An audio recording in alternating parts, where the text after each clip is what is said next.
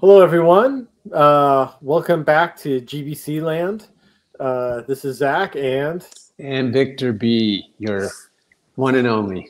Yeah, um, we have a lot of stuff to talk about, and yes, uh, very eager um, to talk to Nolan. Although I'm afraid it might get us to spend more money because he seems to know what he's talking about.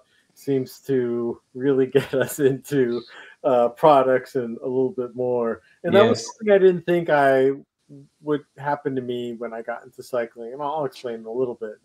But, um, but yeah, it's definitely his, his, videos have definitely helped, and uh, I, I love his perspective.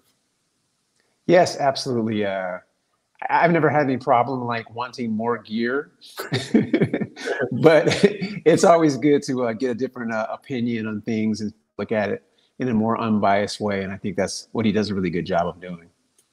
Okay. Well, uh, let's let's bring him into the welcome to the jungle. So let's bring Nolan in and Yo.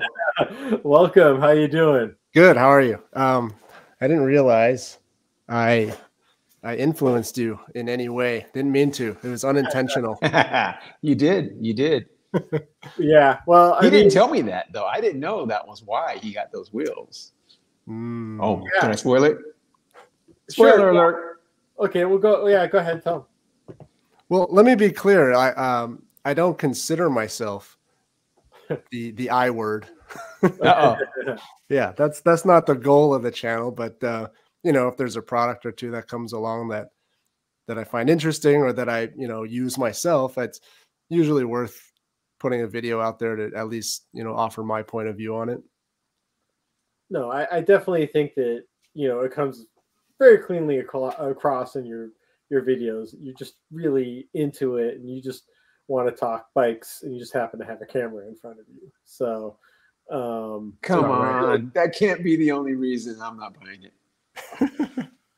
well, I mean, I, look, I mean, like we all love being part of this community too, and you know, we know whenever we put this stuff out that people will have opinions, get feedback, mm-hmm. and um, so I know we're throwing ourselves a little bit more into the fire, but you know, me acting dumb seems to help like well, a lot of activity on that front. So you, will have to excuse me. When did you um when did you start GBC, the channel, YouTube channel? Uh well, technically, even though it's a little bit older, we're saying GBC is celebrating our five year anniversary in five. June. Cool. But I don't know if I started making got into the video game until maybe if probably the year after. Right. You had the website first. Started as a website. That's right. That's right. There's yeah. a lot of good. I, I learned a lot. I think probably before you had the channel, I would go on to the site to see if there's anything that I, you know, that's local to to me and that I could that that I could handle. There wasn't a lot because I'm pretty wimpy when it comes to big rides. But um, some of the routes, uh, you know, I pieced together shorter routes based on your route. So it was a really helpful resource. Yeah, that's that's why I started it. I was hoping to find other people and um, you know people showing off awesome rides, and that didn't happen. uh, at least for probably yeah for about the good good first year and a half, and so that's why like the June date is kind of like the first date because you know somebody said, "Hey, I just saw the pictures you put because I have an, uh, another website, Secla Valley, which is more advocacy oriented, and why don't you hold a ride?" So I was like, "Okay," and I was like, "Well, I'll throw it out to these 60 strangers on our Facebook group," and a handful of them showed up, and that kind of like helped birth it, and then you know people saw that, and it kind of took off organically from there. So, so, so just to be clear, on the Secla Valley YouTube channel, there was never any gravel coverage. Because I know we did a bunch of videos on there, but I don't recall doing gravel. There may be. Oh boy, whoever wants to flip over to a different channel right now, please. um, because that precedes GBC. Yeah, I mean, like I did stuff like I raced my wife from from UCLA to our house. She was driving, I was biking. Um, ha- had a few other things, but I, I, I, you know, like, and, and I think that's part of the thing. And you know, you making videos is like we all kind of like find our own speed of how we make videos. And I, you know, I bet you 99% of the people out there who are biking have cameras, but probably only about 1% use them because it's really hard to like actually put this all together.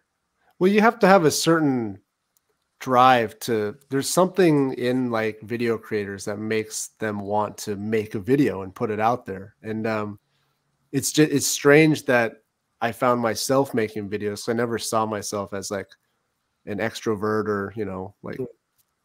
Having really anything interesting to say. Um, but when when COVID hit, when 2020 happened, and you know, I teach for a living, right? So I'm I've got I've grown accustomed to having an audience, air quotes, right? And so when that was kind of taken away, man, I started, I, I, went crazy. I was like, I need mm. someone to listen to me right now. um, you know, uh, little kids at home, they don't, they don't give me that, um, all the time. So really like, you know, my channel was, uh, was a COVID project that kind of, it grew legs over time. And the first, you know, obviously every creator, the first few videos are just terrible. They're just, well, I guess I can't speak for everyone, but my first several videos were just awful. Um, I keep them up there as a reminder of kind of. I'm not saying they're great now, but it's kind of a nice reminder to see like, oh, some progress has been made in the past four years. The progression um, is is easy to see. Yeah, so, yeah. How did you come up with bike sauce? What, what was the inspiration for that? I have no idea. Is is one of those shower thoughts? Like I was trying to come up with the name and um, I think um, bike soup is what I originally wanted. I don't know why. Good job going with sauce. Yeah, and actually it was already taken, so I had, I had to really. I had to pivot, and I went with the sauce. bike soup is taken. Yeah, I don't know what it is. Is it maybe another? It's probably a some type of cycling channel. I'm not actually sure, but I saw that it was taken, so wow. I had to pivot a little bit. Yeah. I think they saved you. That that was a good a good pivot. Yeah. Yeah. yeah. yeah. I like bike sauce. I like hot sauce and everything. So there that's what it reminds me of. Yeah. Yeah. People ask what it means and it I don't I have no idea what bike sauce means. Just make something up at this point. so it just becomes lore. Yeah, yeah you have to kind of say, I can't tell you. Yeah, yeah, yeah. you know, people will love the intrigue and then they'll start a whole thread somewhere. Yeah conspiracy theories well bound. Yeah. yeah, I wanted something with the word bike in it, but I didn't want to pigeonhole myself into it like a niche, like a niche. Um, you know, like like like the videos we've we've put out like over 150 videos at this point and they're just there's no theme to the channel like there's no brand really you know we've done like mountain bike stuff road bike stuff gravel bike stuff vintage builds, how to's, and reviews. There's just there's just no theme, and I and I kind of knew it was going to be that way going in because that's how I ride bikes. I ride whatever is like popular with my friends at the time. So we ride road and gravel and mountain.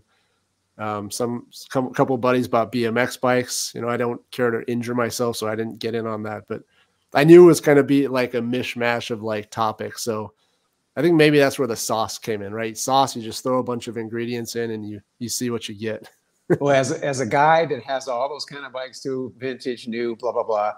I, I discovered your channel. The the first video I saw was you dyeing gum hoods because I have vintage bikes with with gum hoods. There you go. And then from there, I saw your uh, your Kuat rack video, which was interesting because I also have a Kuat rack. I'm like, hey, this guy's kind of like me a little bit. Sure. So then I searched out your torque wrench thing because uh-huh. I don't trust those either. and that was very interesting. Okay. So so good job. I, I like the the diversity, I guess, yeah. for lack of a better word, of the channel. That's kind of cool. That's a nicer way to put it. Um, yeah, I, I refer to it as just being all over the place. No, no, it's cool because you know not everybody's like you said uh, just one thing, so you can, you know, spread the love. Sure. Sure. Well, you know, uh, we do have some some tech questions. If anyone also else on the thread that's watching wants to throw in a question in the comment box, um, we'll take a look at them. But uh, yeah, I like you know I discovered you when I was uh, trying to find solutions for my cheap solutions for my Niner because you know for years Vic had been trying to get me to go tubeless, but I just didn't want to years. I just didn't want to commit to you know one tire because like I'm already don't have the means to keep flipping it over. And so when you were talking about the hunt wheel set, I was like, okay, I will probably buy two. And you know, they have been fantastic on on my Niner.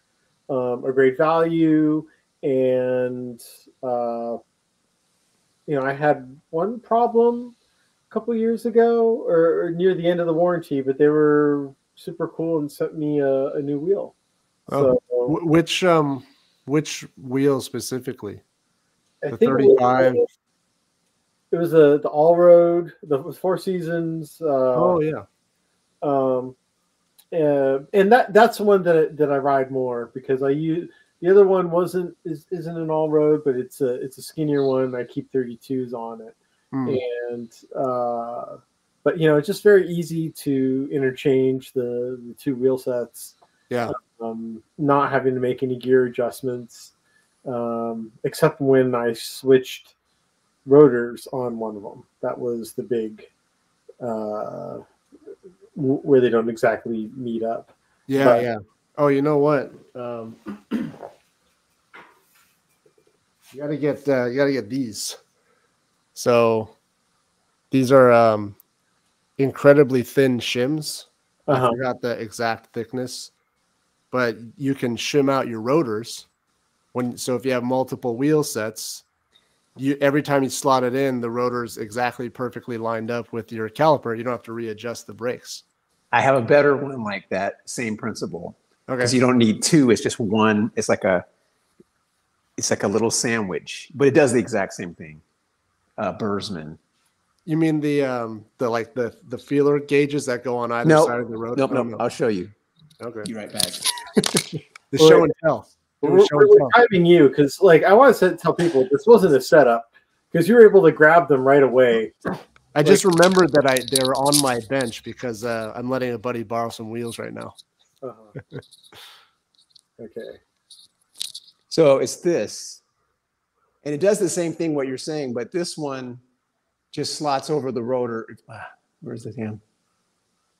Uh huh. But it does the same thing. So you just put it on, slide it in between the brakes, and with the caliper loose, and then just tighten it, and it's it works at 100 percent every time. I got you. It just spins. It just it's.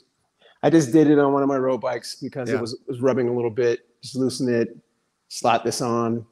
It, I use it every time I, I change pads. Got it. Just to get it just perfect. Right. But it's the same principle as that. It's just it's just easier because it's one thing instead yeah, of pushing two things in. Uh, well, I think I think I might I think I might have mis uh, mis mis uh, explained it. Like, cause these actually go.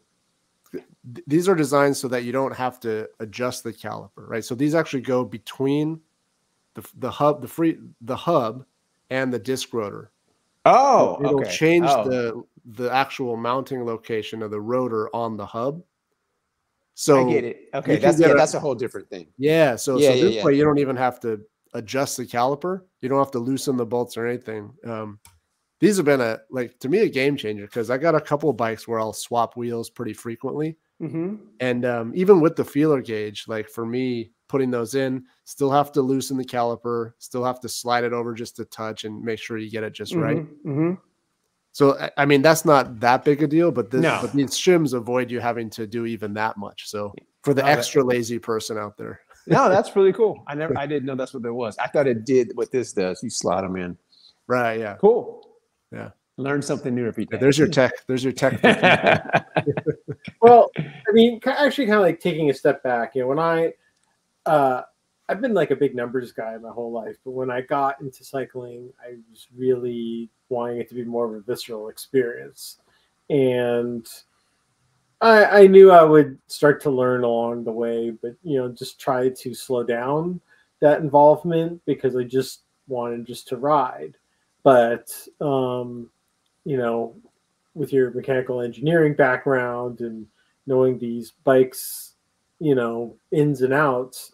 Like how how does that are, are those two separate worlds? Do they blend? Um, are you able to shut it off or um, like sometimes you just get a bike and like not even like really look at at the mechanics or the geometry and you just jump on and no. No. I, that's I embedded. I, I, see where I, I got your question. Um, it's an open one open-ended one. Um, i sometimes i'll get a review bike and i'm like so tempted to not look at the geo charts and just do a ride purely based on feel. But I haven't done it yet. I just can't bring myself to not study the ge- the geometry chart uh, beforehand, not you know log my tire pressures before and after every ride. It's, it's just um, it's more of a problem, I would say. Than yeah, I wish I could just turn everything off and go for a ride, and sometimes I can. Like um, like you probably know, Zach. Like when you go out for a ride, You've got cameras all over the place. You're thinking about how you might create a video with this footage. You're quote unquote shooting for the edit, and you potentially lose some of the experience um, through that process. So, you know, once in a while, I'll, you know, I'll go on a ride intentionally with no cameras, no power meters, no computer, even. And um, I generally have more fun on those rides. So I I know that the visceral side is like, you know, that's why we all started cycling in the first place, is for that experience. And um, you know, the power meters come along, the Garmin's come along, Strava came along, all those all the data starts to work its way into the experience. And I think you're right. It, it takes something away from it. Um, yeah, it's replaced with something else like data and you know being able to measure your progress. You know, so that's good. But um, I, I don't know that you can have. But it's a zero sum game, in my opinion. You can't really have all of both in the same ride. Hmm. Yeah, I know. I've been trying to. I, I think over time, I've been able to, uh, you know, take that element out a little bit more. And like I normally, like you know, we did Catalina. I think I normally stay in it, but um, the drone has been probably the biggest thing of taking away. You know, I try and limit that. I try and get ahead, but yeah. one more time. Wait, just go, just turn around and go again, guys. When I was going to use it, did not have to join me. Didn't have to get on that ship. I wouldn't miss it. I wouldn't miss it. The drone doesn't bother me. Yeah. Uh, you know, when we go on these rides and when we're filming, I understand that we're filming, and I have a camera on my bike, so it's it's it, it's a different experience. So yeah. it's not a bad experience. It's just a different experience. And, you know, you go into it knowing that, um, I enjoy that. Um, but like you said, sometimes just getting rid of all that stuff and just like, I have a single speed hardtail mountain bike. It's just basically like a, a big kid's bike. And yeah. that takes me back to just like riding BMX and stuff yeah. like that. Like that's like the purest bike I have. Right, right, right. No electronics, nothing, just one gear. You're always in the wrong gear. and uh, it, it's just it's just love. I just people say, why do you have that bike? I'm like, I love that bike. Yeah, that is what got me into bikes. This type of bike, right? Just a simple bicycle with one gear. Sure. Yeah. And that that that's the, you know that's what it's all about. Right. Yeah. I mean, I kind of got off. Like your your question was, I think, more geared towards. Am I thinking in terms of like systems and mechanisms while I'm riding, not necessarily video cameras, which is like a whole separate thing. Are you doing science like your cap says? No, uh, no, of course not. Um, of course not. I, I, the the most that I'll do is if I'm riding solo, um, slogging up a climb, I'll I'll pass the time by trying to work out like gear ratios in my head. see if I can. Fun. wow. Like if I if I add two teeth to the uh, you know big cog, what does that do percentage wise to my gear ratio? Oh my god. Um, but that's mostly just like to pass the time. You know, I'm not. That's just where my mind goes naturally. Is I can't I can't help that. It's just Uh, never told that to anybody, but that's yes, thinking about just dumb stuff like that. Whereas most people will be looking off into the scenery and appreciating the nature that they're in. Um, like here's a thought that I often have when you're riding along, staring at the front of your tire, like you're looking at the top of your front tire. Mm-hmm. Sometimes I think about how tread patterns are designed and and how they would interact with the the ground surface, right? The weird thing to me is that what you're looking at on the top of your tire is backwards from what is interacting with the ground because it's, it's rotated 180, right? So right, right. Sometimes I think when you got these like chevron patterns that look very aggressive, they're kind of forward pointing like an arrow. Right. I'm wondering if that makes sense because on the bottom side of the tire, they're backwards or like the wrong way almost. I don't that see, hmm. see that's where my head goes. yeah, that's a good that's a good question right? And so, but, but tires are rotation. I'm sure tire engineers have figured it out. Of course, yeah, of course they've thought about it. But you know, the average consumer will look at a tire and say, "Oh, that looks that looks knobby. Those knobs are going to give me great grip." I don't know. How do you know? Like, you got to like do the analysis, and you know, Ritchey tires have something called I. I hope I don't get this wrong. I think it's called vector force analysis it's just uh, probably it's just a marketing thing, right? But but I understand where it comes from because as you're cornering, right, forces are vectors and they're pushing back on your tire and you know equal and opposite forces. So depending on the angle of the knobs and and and the particular acceleration while you're turning, like you want those knobs angled the right way so that you maximize your grip. Mm-hmm. So I bet that's part of the you know technology that went into those tires. But mm-hmm. Mm-hmm. That's the kind of stuff I think about. well, that, that's reasonable, but trying to figure out gear ratios while you're riding is, I don't know about that one. yeah. Yeah. Looks like someone else here had the same thing.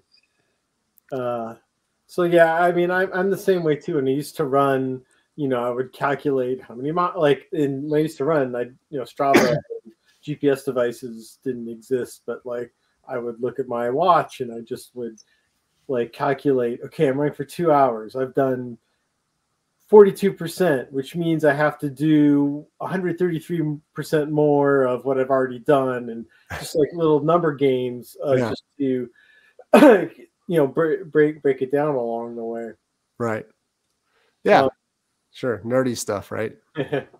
We uh another question here. Um i'm sure this is for, for you nolan what are your favorite 3D parts to use on your bike, either for maintenance or function during the ride? yeah, 3D printing is so cool. Um, the technology's come so far in the last five years, two years, right? It just keeps advancing at such a crazy rate. Um, I, I, don't have a 3D printed saddle yet. Uh, I would like to try one someday, but they're $400 and um, that's a lot of money for a saddle. Yeah. you know what? And also personally, I don't like the way they look. Mm. It kind of creeps me out. It's kind of like a web. It's like they're they're creepy looking. The TBGVs to look at it. Yeah, I don't. I don't. I, honestly, I don't like the way they look. I'm sure they feel great and everything, but yeah. besides the cost, if you gave me one, I would just flip it. Oh yeah. Yeah, I don't. I, am not a fan of how. That's just me. Aesthetically, it just doesn't work. Yeah, uh, 3D printing metal is to me that's wild, and I think that's where a lot of the industry's heading. Titanium, titanium lugs yeah. and stuff. Great. Printed titanium, printed yeah. steel. Yes. Um, you probably I don't know if you follow the Instagram, but I've got a couple of new house frames that I'm gonna they're in, in the queue to be built up. And um, Daniel Yang, who's kind of like the the mastermind over there, he's designed 3D printed uh, chainstay yoke as well as a seat stay yoke, I think it's called. Mm-hmm. Um, it's just like genius is what it like it, it it solves so many problems and it looks it's a beautiful you know beautifully printed part and it's functional at the same time. It's not like just for show. Um, stuff like that like that totally makes sense to me and i think that's the best use of 3d printing on a bike that i've seen is, is like components like those. What do you think about the term 3d printing? Because it kind of sounds weird. So now i hear people saying additive manufacturing which sounds, I don't know, it sounds more correct to me than three. You're not really printing it. It's kind of well, just like I don't know. It's uh, added the the additive manufacturing versus subtractive manufacturing. That's just the classification of how something is created, right?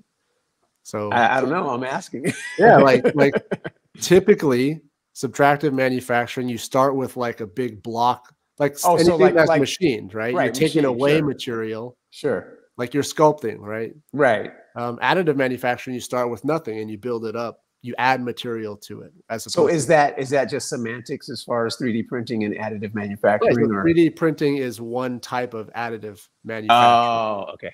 Got like it. like CNC machining is one type of you know subtractive manufacturing. Got it. Got it. Yeah. This is why you're on the show. So there you go. Tuesday.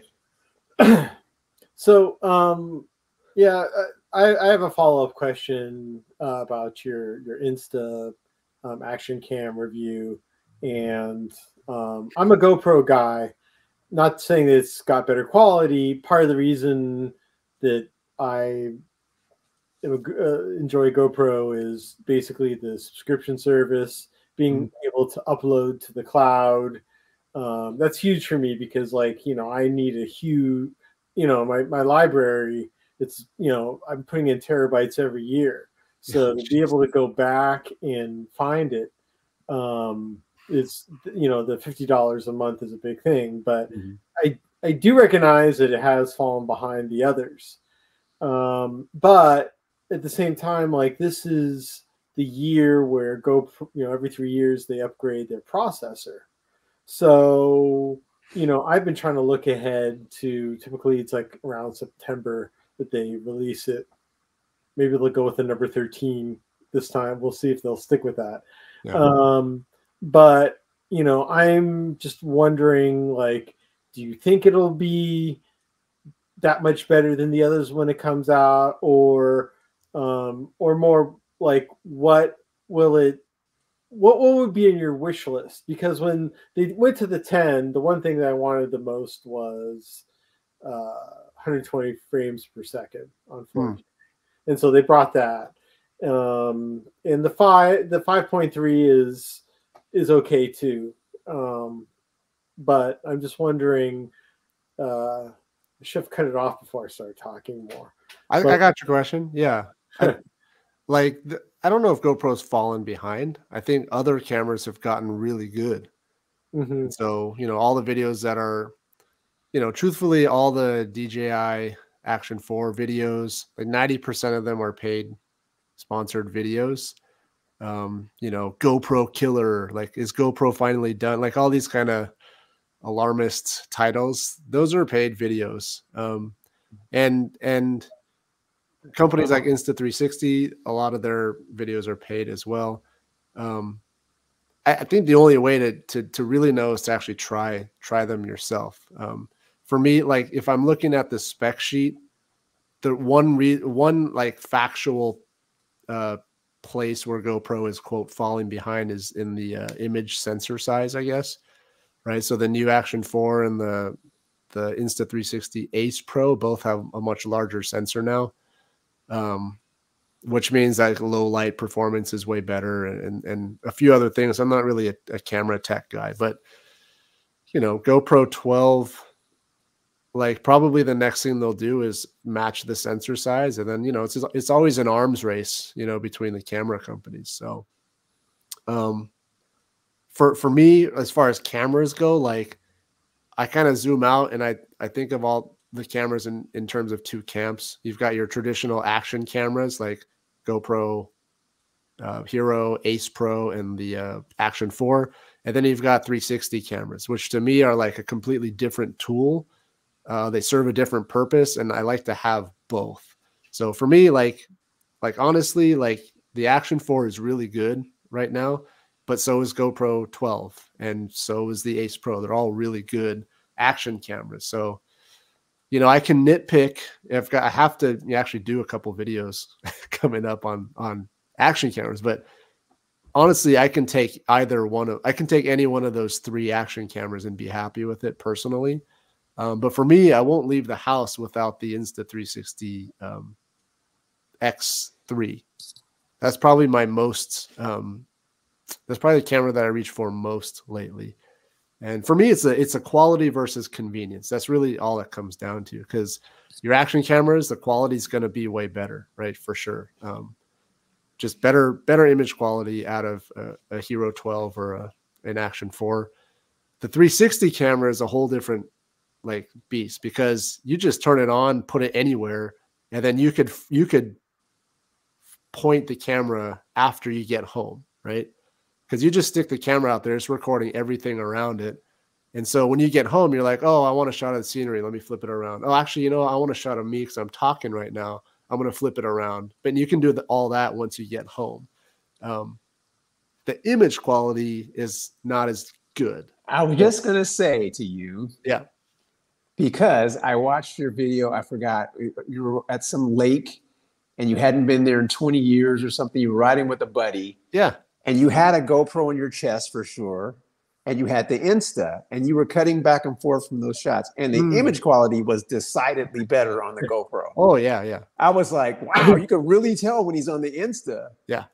Yeah. So um, I don't know how old that video is. If like it's gotten better since then, but well, so that was that video was a long time ago, and that was the Insta360 X2. So it was a pre- mm-hmm. it was a previous model, and I didn't know I wasn't um, as efficient as in the export process. So, mm-hmm. so I think that was just like an H265, you know, codec or whatever. So now with the X3, which has a better sensor, um, and now I, I, think I sort of know how to process it a little better. I'll I'll export in ProRes, uh, which is a I don't someone tell me I don't know exactly what that means, but it's like better. It preserves more of the image quality.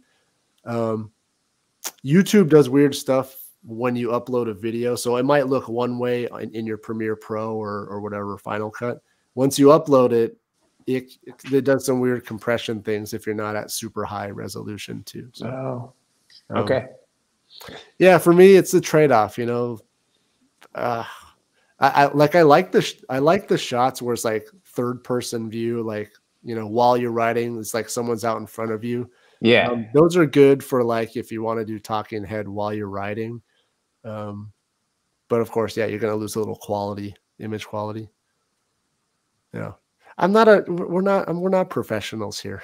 well, I've seen better Insta 360 videos. So I figured it was kind of old. It was probably like a first gen camera. Was my yeah. guess. Right. Yeah. Mm. What do you take, Zach? Are, I mean, you I, like when I rode with you at the Maverick Burgers ride. Was that the where we met, or was it the? It was one of those. Yeah, yeah. I came out to to the burger ride. And, yeah. Um, I mean, you got like sixty cameras like all over your bike. yeah. in, that, in that ride, I wasn't like totally planning on shooting a video, but like sometimes you just happen to. I'm like, well, I've I've got the mounts and everything. I might as well just turn right. it on, right. and uh, yeah, I mean, I think like my my I mean my biggest pet peeve is the the low lighting, but I, mm. like nobody, uh, you know, you know, for cameras these size, nobody's found a way around it completely yet, and it's gotten better. Mm-hmm. Uh, you know, I think I had the original GoPro, so it's interesting even looking at the lower resolution. But you know, at the time, it looked fantastic. Yeah, and right. so I don't know if in another couple years people are going to look back and be like, "Ah, this is terrible. You only shot in 4K."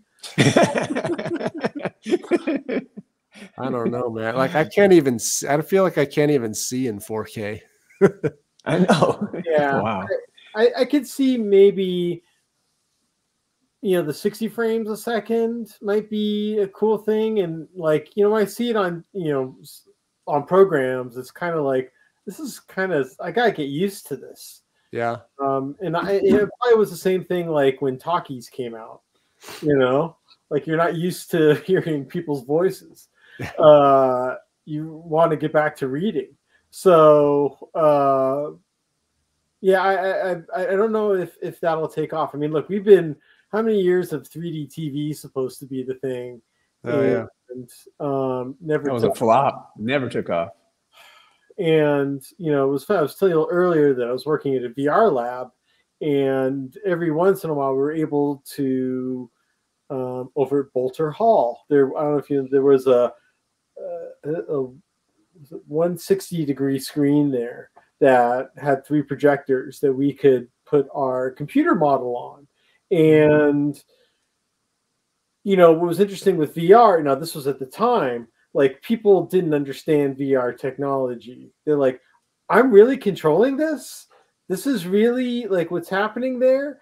And so, I mean, that's kind of like why I was going to grad school was to try and figure out like why people how do people absorb trends and information in front of them? And um yeah i you know like I, i'm trying to figure out where we can go with like production. I mean better drones would probably be something um especially you know for race coverage um but you know outside of that like how we view things i, I think uh, you know, we, we've seen very creative things on Instagram, you know, people that create a lot of things, but, you know, I, I keep coming back to people that, you know, have a longer shelf life, you know, that are able to talk genuinely about products, places, people, um, because you can always make flashy videos, but after a while, that kind of, you know, wanes a little bit. Yeah, yeah, yeah. And the other thing too is audio. Like, do you use like a an, a lav mic linked up to your cameras, or do you use the onboard mics? I just, I just, I mean, because I don't record a lot of audio. Oh, that's right. You voice over most of your videos, right? Yeah, I mean, I all do the video. Yeah, All I mean, the- I, I do have those road mics, and every once in a while I'll bring them along. And you know, Vic and I, we've done tests with with those mics before and riding, Yeah. but you know, to me, it's just it's another thing to think about while I'm on the ride. It is. Yeah. yeah. So, because I mean, I'm sure we've all done this where we've all like hit the record button and forget to turn it off. And then you, you think you're turning the record on, but you're actually turning it off. So Are you talking about the time I did that and We all do thing? we all do it. Oh my god, it was a nightmare. So, um, you know, I'm just like, it's look, you know, we used to just carry a, a wallet and keys, and now we have to remember to put a cell phone in our pocket too. So, you know, that's that's why I've like stayed away from, you know, what I might just do is just basically record everything and then go back. But I'm like, that's just my videos take too long to make already. So Yeah. voiceover forever. right. Right. Right. Yeah. No, I, I don't. I mean, all right. So back to the, the what, what was the question? the question was, where's GoPro going? I, I would I would predict that the next iteration of GoPro will bring that larger sensor. That's probably the main upgrade that that we'll see. Um, one of the things that DJI is doing is they're incorporating their uh, their mic, the DJI Mic Two, so you can connect. The, if you have the mic and you have the Action Four, they talk to each other natively. You don't need like a a dongle to like pair or whatever to the camera.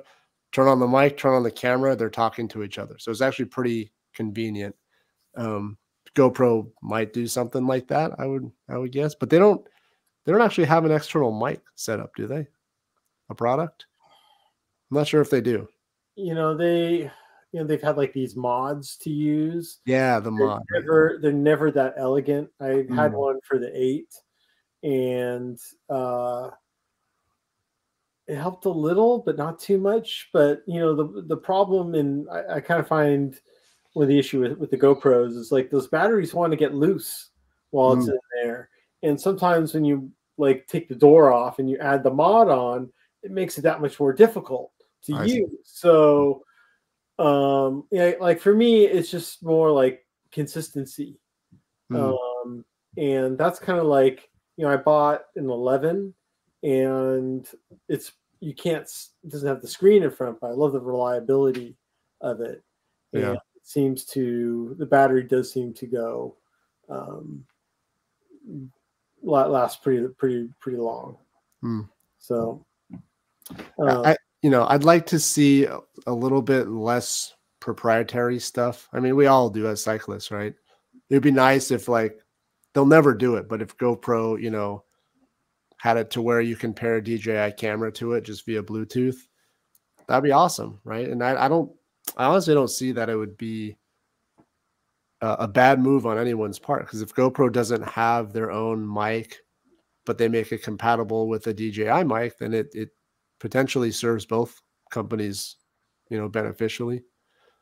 Um, less proprietary stuff, yeah, in in general, especially in the bike space. Good luck with that. yeah, Canyon, specialized. sure. Oh my god. Um, you guys are going to Sea Otter next week, yeah? Are you? yes. Um, yes. I saw that. Are you going to be leading some rides out there, or we have a meeting on Friday. I don't think we are. Um, you know, there's a lot going on in Sea Otter that I don't know So if we need to, to add to it. Yeah.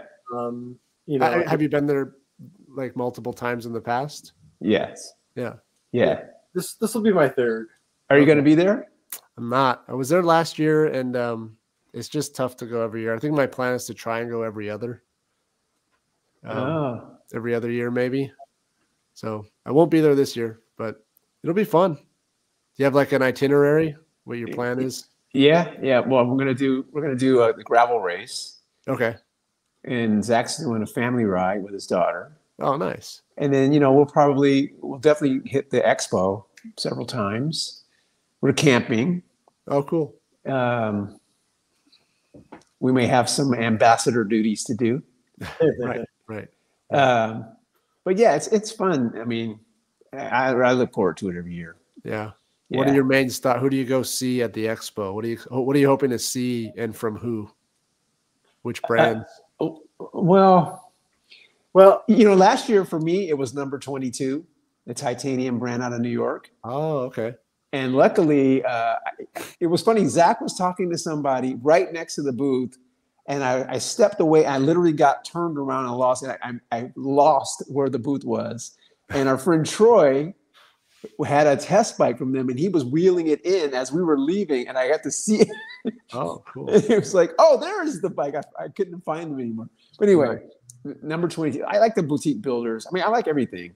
Yeah. Um, I'm also really happy to see the new SRAM Red because I've been waiting for that. I'm, I hope that's going to be there. I think it will. Is that they're long, long due for an update. Yeah. But but nothing in general because everything's cool and hopefully you know it'll be some surprises. But like Zach said, it probably won't be. It's kind of a yeah. I don't know.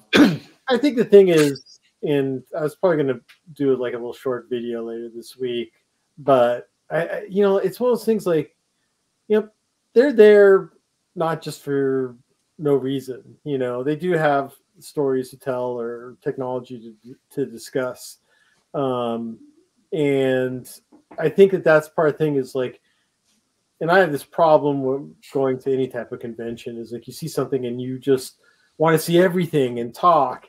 And that's like the wrong way to approach it. yeah, because you miss stuff.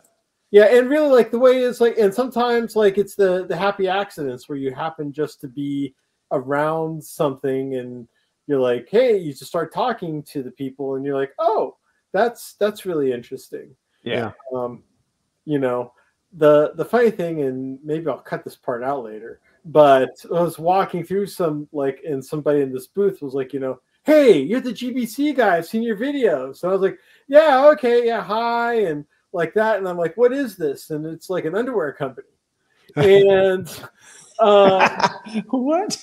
but it ha- basically like this underwear company has this, I guess, this patented thing to um, uh, hold certain male parts in a certain way. Oh, Um, and so, you know, pouch. yes, Some some type of pouch. or- yeah. well, okay, you're gonna hate it because I think, like they said, they called it the secret sauce. So, Oh, they didn't sponsor you on this. yeah. Yeah. The secret bike sauce. Oh no. I see a collab coming up. but Yeah. um, but you know, they, they gave me some, Oh, some damn. boxers, which or, or some briefs, which my wife really loves. Um, She does. Oh, if- cool. if yes, Bonus. bike pouch, and um, and but they also gave me some, you know, some bibs, you know, some some un- undergarment bibs. Oh, cool. and uh, I've, I've actually worn worn the bibs, and it's it's it's really nice. So like, I, I do encourage like you know obviously you know the the bigger brands are going to be all over in in a lot of things, but I, I think like the smaller, you know, the smaller companies like don't have money to throw around. They're there because like they think they have something a story to tell. Mm-hmm. So I think like that's a, a huge part too. Yeah. I, I would like to see well not not that I would like to see. I, I might I couple predictions. Um I don't know about you. I I kind of feel like as far as gravel goes, I, maybe it's early to tell, but I, I think maybe we're at like peak gravel if that's a thing. Um, I, the big companies are out of ideas, in my opinion. It's going to um, be more suspension and and more yeah. compliance things. Watch, yeah, yeah, they're yeah. gonna right. So it's a lot yeah. of suspension, putting forks on the gravel bikes. Yeah, designing compliant carbon handlebars. Yeah, I I would suspect that we might start seeing uh, a trend away from carbon and going back to well-designed metal bikes um, I, I, think you're right. I think that's already it's definitely happening in the boutique brands for sure. In the boutique, yes, brand. yeah, yes. So I mean, like people are have been aware for 30 years that you can build a very comfortable steel bike. Absolutely. It, you know, 30 years ago, maybe they they just weren't as as nice or as light or as you know as modern as they could be today. Well, so. 30 years ago, they were still they were just cyclocross bikes, which is that's right. You know, there was no gravel. The grandfather of gravel bikes. So that's right. This yeah. is nothing new. Exactly. So I would I would say you, you walk around all the boutique brands, I would probably wager that you see more metal bikes than than carbon. Um, I think you're right.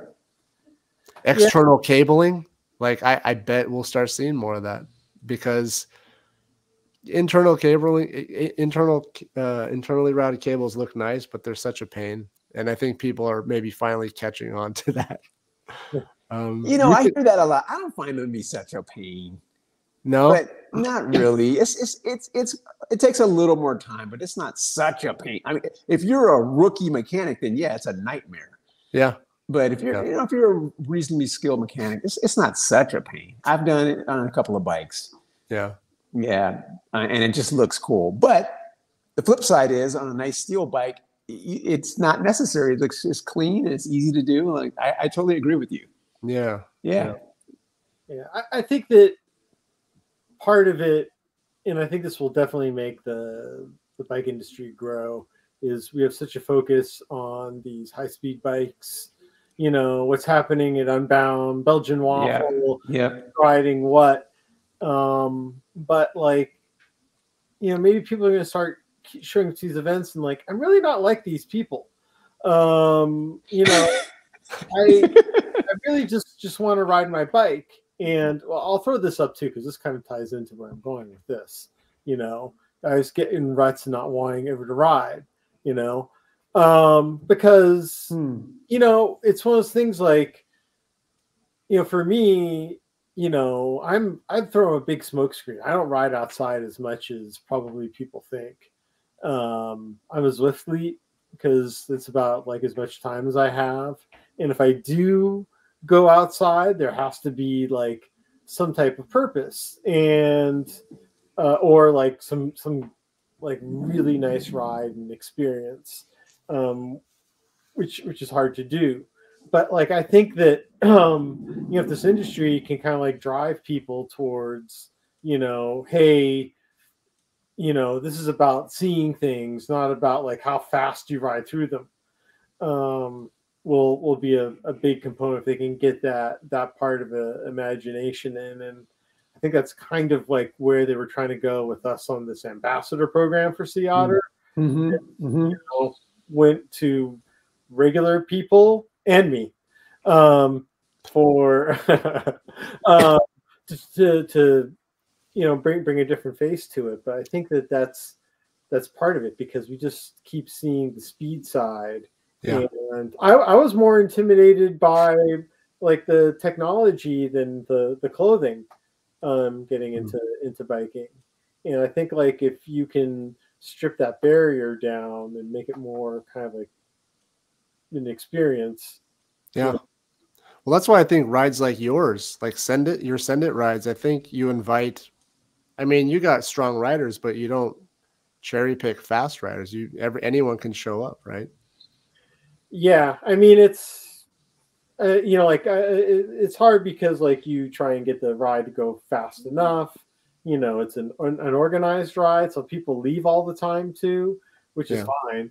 Um, but you know, I just like having about thirty people is about the right number, Yeah. and um, you know, I it, it's hard because you know people are different abilities and Yeah. you know, try and keep people together and wait and just have like a lot of quick you know quick breaks so people don't fall it's not spread out too far Yeah. um but this is cycling this happens everywhere uh, Right. you know we're not machines out there so I, mean I would predict that there are more of of us, meaning you know non-competitive kind of cycle mostly for you know exercise and just you know being out in nature. There's probably more of us than we think, but we're just there's not like a a central representative for those for for those of us who aren't who don't care about racing. So um the more channels like Path Less Pedaled and and um to a lesser extent maybe like the the tinkery channels like Spindatt channel like these channels are the ones where like oh yeah biking doesn't have to be about racing it's just about having fun and exploring and adventuring i think those are doing more good for the industry than the industry probably cares to admit Yeah. Yeah. yeah and it, it's funny because like you know a couple weeks ago i was sick but um i went out to everyone loves raymond which is a, a ride in the foothills of sierra put on by fresno cycling and you know it's it's a it's a bike club so you know it's not a lot of bells and whistles although they actually give us a, a lot a lot of goods to, to this ride.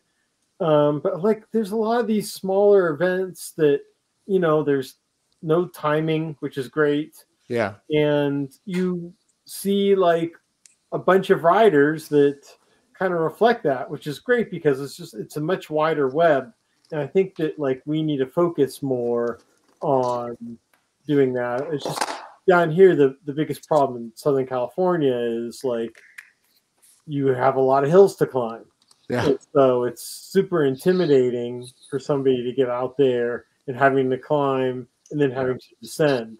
So um, I think we really frustrated Vic. is. I'm sorry, my phone is about to die, so I plugged it in. I had to take the earphones out because the Apple took out the plug, so you can't Uh-huh. charge and listen at the same time. So thanks, I Apple. mean, okay, I'm sorry. We could we could talk more racing content if that'll keep you in. no, no, no, no. I'm, I'm good. My Okay. phone is like five percent, Okay. so now it's charging. So I, I, won't, I, don't- I I didn't want will- to just black out. I, I would guess Zach, you ride ten thousand miles a year if I had to if I had to put a number on it based on like your internet presence, but but but maybe it's not that.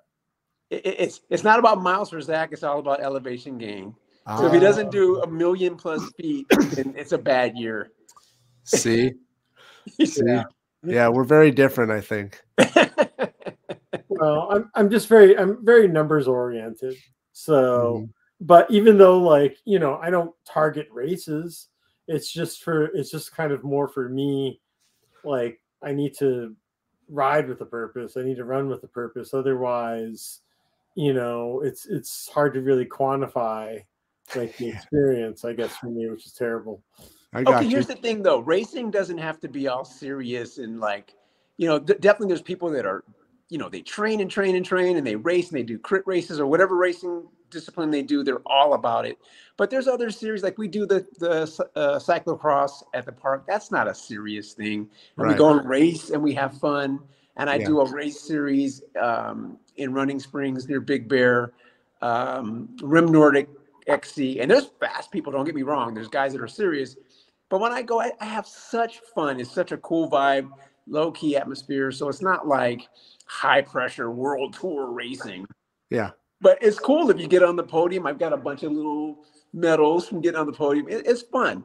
So you, you can race without it being like super high pressure and super crazy because I'm Yeah. not all about I'm too old for that. I just want to go have fun like you guys are saying. But racing adds a little a little more element to it. You get the butterflies and yeah, yeah. it's kind of cool, but it doesn't have to be super high stress because I, I wouldn't do that. What's the point of that? I'll just Yeah. I'll just ride in the neighborhood. Right, right. You Uh, know. Okay, we're I know we're almost at an hour. We'll try and wrap it up soon. Um, but uh, I know we got a couple of questions here, and I think I know your answer to this. Let's Oh, see. hey, Melissa. I know Melissa from the the PLP ones. Um, bigger tires or gravel suspension fork? Uh, Got to go with bigger tires, hundred percent. My answer exactly. Yeah. Bigger tires. yeah. Yeah, it's because it's um, people think I think I think people are coming around, but the the notion of wider tires being slower, I think holds a lot of people back from going wider tires. Yep. Um, and they're they're not slower. The wider Nope. tires are faster. Um, sci- science, it's science, Science. right? So uh, uh, it, it's more about the casing than the width of the tire, right? You put like a what you want is the lowest hysteresis casing available, which typically means thinner and springier, right? Um, hysteresis is just like a fancy term for like it does something different on the way back than on the way out. So if you squish a tire and it takes a long time to return, like a memory foam pillow, that's high hysteresis. That'd be terrible as a tire. Um, yeah, it would. a spring with no damping in it is like zero hysteresis. It follows the same exact path on the way in and on the way out. That's where you're going to minimize your, suspe- uh, your your suspension losses in the tire. So the fact that it's bigger, it's actually absorbing a lot of energy that would have gone into your tissue and slowed you down and fatigued you, right? So, got to go wider tires, lower pressures. Science. Science. The best analogy I have for that is um, I don't know if you guys ever been, were into skateboarding, like you know freestyle skateboarding, but you get those tiny wheels that are super hard, and you try and skate over like a really rough driveway or something. You just come to like a halt trying to roll over that, right? And then you put like even if it's the same diameter tire, like a soft compound tire, you just kind of rumble over it all, and you just like make it all the way through. That's because with the really hard tire, it's not in the, the skateboard is not slow. The thing that's slow is that all those vibrations are transmitting into your body tissue, heating up your tissues, and that's where all that energy is going. So Oh wow. yeah. So that's why the wider tires, they absorb that before it gets to your tissue to fatigue your What what were skateboard wheels made of before they were urethane? oh the original skate wheels I Well, thought not the, were like not the metal ones, but after metal Oh. there was something. oh I don't know. I know that the originals were metal. Yeah. yeah. Yeah. So maybe it went metal urethane. I, I don't know. But I just remember urethane. I was never a big skateboarder, but I do remember when urethane wheels came out, it changed the game like it was like light years better. Yeah, yeah, yeah. One time for fun, I took the, my um, freestyle skateboard wheels off and I put rollerblade wheels on, Oh wow. and that was my favorite skateboard ever. I, you could push once and coast for like a block. It was awesome. Well, it's interesting. A couple of people bo- put this in, so I don't know if it's true or not. Clay, There Clay, I. I was gonna say that, but I, I thought that was a myth. Mm, I was gonna say clay, but I thought that was wrong. Huh. Hmm. Okay. Well, we're gonna- probably not. Probably not all that compliant either, to be honest. No, no, because w- when they went from clay to urethane, the urethane was a million times better. Yeah, Smoother, faster, everything. Looked Right. cooler. Everything about it was better. right, right. well, well, maybe next week we should have the skateboard sauce on. We'll have there you go. Like, yeah, would you would you take a freestyle skateboard with the really hard wheels and put a put a shock between the trucks and the deck? No one would ever do that, right? That's a great analogy. doesn't make any sense. So that's that's like putting a shock on the front of a gravel bike with really hard tires, right? oh, It, it in my that that's probably not science. That's speculation, but that's what I, that's how I think about it, right? Mhm. sounds reasonable to me. Yeah. Oh, well, Lon, we're gonna wrap it up. I mean, we uh you said chit chat, and this was a lot of fun chit chatting. Yes. And um well, would love to have you on again because um uh, who doesn't love talking about bikes like this? Everybody, I'll do it. Sign me up. Um, cool. Cool. Well, thanks for coming on. Um, you know, we'll give you some rundown of what we saw at, at Sea Otter, and um, you know, we'll we'll catch up soon. Yeah, I'll see you at Maverick at some point again soon. Yes, yes, I'm looking forward to. Uh, keep talking. People are saying, "Come on, we'll have kids." gotta, gotta leave them wanting more. Can't yeah, let it dry up all the way. um, yeah, maybe we'll have like a paid show. People will have to pay extra. Oh, yeah. now then, there's then there's pressure. Yeah, exactly. Now you're pushing. Yeah. How did you really come with the bike sauce? the secrets. You have to pay for the secrets. All right. Well, thanks so much. All right. All right. Thanks, guys.